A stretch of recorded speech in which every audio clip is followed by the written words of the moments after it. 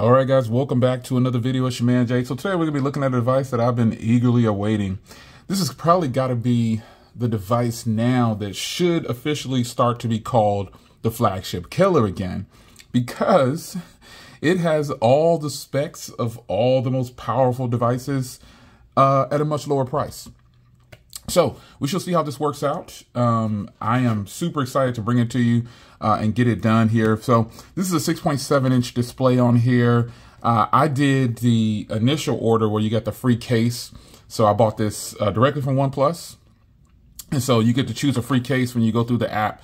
So I went through the app because uh, I currently have the OnePlus 10 Pro and several other OnePlus devices. But I chose this this case right here. I just think this is the way to go. The Armor, Armor Red Fiber case. I love these cases because they're ultra thin, but still provide some protection. Now I was able to get the memory upgrade. Uh, and then I traded in my OnePlus 10 Pro and they gave me 500 bucks for this. So I'm going to be sending that in. But first I'll show you some comparisons. Uh, but this has a 5,000 milliamp hour battery, 16 gigs of RAM, uh, and 256 gigs of storage in here. So let's crack this open here. Uh, 50 megapixel shooter. I don't know why a person wouldn't call this the flagship killer again, because in fact, it is pushing up the specs of all the big boys at a much lower cost. So this year I did not go with the green. I went with the black because the green looks hideous. It's nice and shiny. So all the things that I don't want. I don't want a glossy, glossy device. So I went with the black. Uh, and you have an 80 watt charger in here. Let's get this sticker off the back here. Yeah, this 80 watt. Oh, this just feels, man. I gave OnePlus the award for best feel in hand device.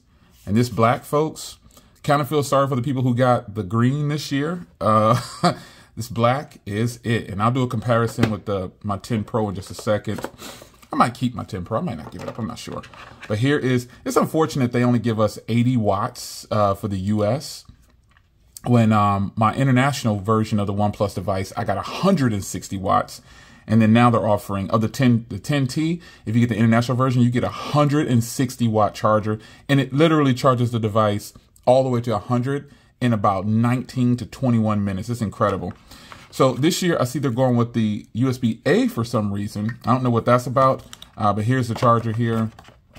Um, and it is an 80 watt charger for the US, but you don't really want to see that. Let's go ahead and get all this put away here uh, and get the device going here.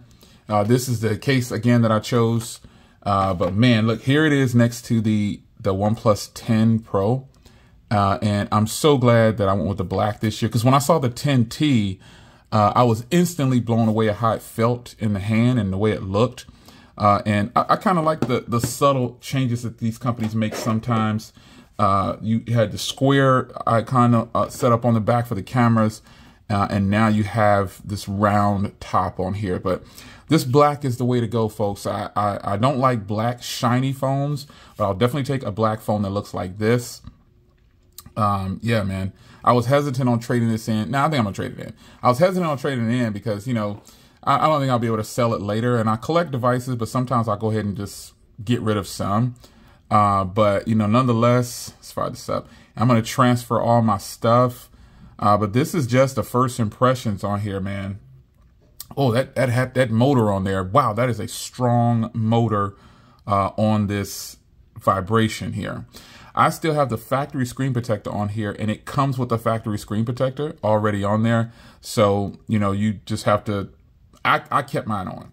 I kept mine on. So pretty much you're getting ultimately, you can see, kind of see like the same style, if you will, display. It looks like it's the exact same display.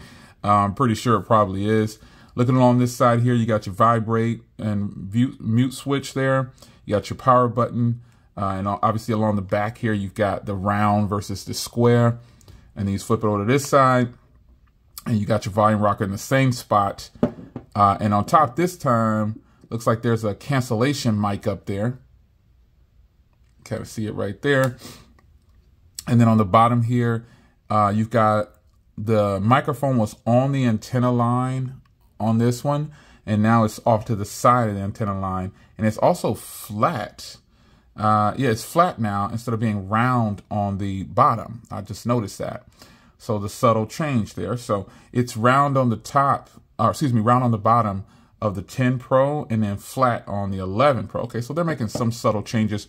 Uh, and again, it's flat on both sides, on both the top and bottom there. So I'm to get this set up, transferred. This is just my first impressions. I know we'll go more in detail, uh, but really, I, I want to save that for the other video. I'm getting ready to pop my SIM card in here and take it out of my um, S23 Ultra. Uh, so here it is next to the S23 Ultra. If you're if you're wondering, this is how big it is. The the the the OnePlus deserves some credit uh, for for this move right here. Uh, people, even if these cameras can't mess with the like, even if the cameras still aren't like super top notch, this phone costs six ninety nine. even if you don't have a trade in. Right now, recording this video is February 16th, and they're offering a memory upgrade basically anyway. So if you don't have a trade in, um, you know, you can still get the device for six ninety nine. That's just crazy. So you can get a 16 gig, 256 gig for six ninety nine, folks. That's that's better. That's a better deal than nearly everything that's out, the so-called flagships right now. You know what I mean? So, I mean, you look at these specs here, it is running down the best specs for the money. And dare I say it, some people might get a little salty, but don't you think it's an even better deal than the Pixel 7 Pro? I mean, the Pixel 7 Pro might have these killer cameras on here, but don't you, wouldn't you just go with the best deal? And some people might argue, you know, that you, you need to be comparing it to the Pixel 7. Um, that doesn't make any sense. That doesn't make any sense. This this is a this is the Pixel 7. This is a flagship. This is a flagship, but this is the lower tier flagship from Google. Now I can't wait to put this phone against the OnePlus um, the OnePlus 7 uh, OnePlus 11 uh, uh, Pro because I think that's a phenomenal matchup. I think it's a phenomenal matchup. And, you know, as much as you don't want to admit it, you know, it, it competes with, and, and why people don't want to give the OnePlus lineup credit when they bring out this flagship is amazing to me. Um, yeah, no phone is flawless in every area.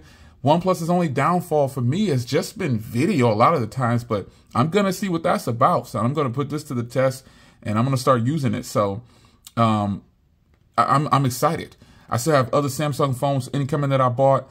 And so we'll see how this matches up. But I think just on off the top, this is definitely a better deal than the Pixel 7 Pro when you do raw numbers. You know what I mean? So it's up to you to decide that though. But the star of this show, let's move all these out the way. The star of this show is uh, Google, by the way. You probably should sell this case right here because people seem tend to love it. I don't know what that's about, but people seem to love this case. You probably should go ahead and sell it. Uh, Yeah. But this phone right here, man, is gonna be a serious hit. It should be a hit amongst techies. There's just no reason why it shouldn't be. This is a this is beautiful hardware. It is the best feeling phone of all the phones I just brought in here, especially the S23 Ultra. It competes, it has a higher resolution. It to me is just gonna boil down to cameras. That's gonna be the only thing that separates this device from all these other devices. Are the cameras good? And for me, are, is the video cameras good? Now, the the cameras on this device right here are beast mode. They just have some uh, the the colors are reproduced for video are not to my liking all the time, but it does have like everything does do everything does great outside. You know what I mean? So in, in certain situations, you need to be able to, to vlog in, in, in a regular light setting. Like I put the S23 Ultra in cinematic video, 4K 30. And you guys love that. It was like, oh my God, I can't believe it's on a phone. And right now, obviously, I need to tell you, I'm recording with the Z Fold 4. That's been my, my phone of choice to record with. And again, I know I have a Sigma setup, but the convenience of editing right on my device sometimes, I like doing it. And like doing direct uploads too sometimes. But anyway, um, we're going to see how this works out. This is my new OnePlus 11. Uh, and I'm excited to show you this thing and because I like OnePlus products, man. I mean, I, my favorite OnePlus is the 3T. I've said it a bunch of times, but I'm ready for OnePlus to take it to another to another level. And I love the 10 Pro. I love the 10 Pro, and I got some other OnePlus devices over there. But we'll see how this one pans out. I, am I'm, I'm really feeling this. Shout out to BG Tech Life. I watched this video and several others who have the OnePlus. If you got the black, you you you winning. You winning. The black is it this year. It's like a frosted matte black. You winning if you got this one right here. It's your man Jay. Hope you guys enjoyed. And I'll see you in the next one. Take care.